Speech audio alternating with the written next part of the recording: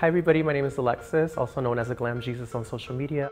I am a full-time content creator and a makeup artist. So I identify as queer, gender, non-binary. I like to express myself creatively using the power of makeup, hair. I was really taught to suppress those feelings um, growing up in a Latino household. I mean, it's not traditional for little boys to be feminine or express their feelings. So as an adult, I really have the freedom to just be myself. And whenever I'm dressed up in full glam, I feel my most confident and I feel like Alexis.